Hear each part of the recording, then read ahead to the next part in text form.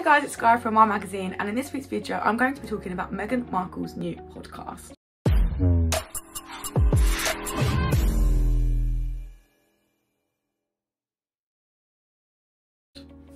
So Meghan Markle's new podcast um, name has been announced and it is very close to her heart. It is called Archetypes and it's going to be investigating and talking about the labels that try to hold women back in this day and age and kind of throughout history.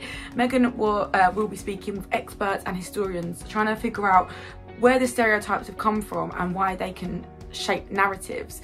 Um, the new podcast series will be the first podcast in the partnership that Spotify and Archewell Audio have, which is the um, audio first production company that Prince Harry and Meghan made a few years back. In fact, it was in December 2020 they had their first podcast within the production company, and we've been kind of waiting ever since to hear them again. But this time, Meghan will take the reins on this, if you like.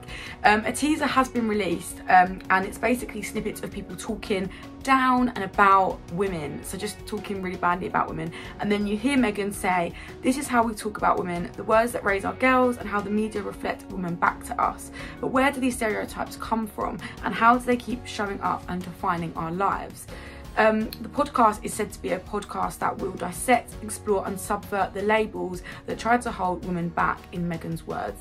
Um, and obviously, Archewell um, is a name that combines a, an ancient word for strong and action, and another that involves the deep resolves we must draw upon. And again, that is what the couple announced back in 2020 when they first announced their production name. Um, so you can see that they strive for change and for movement.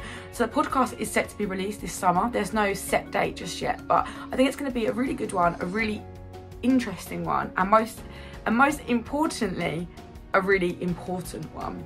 But as always, let us know what you think. You can comment down below. You can find us on Instagram at Aman underscore mag or on Twitter at Aman Magazine one.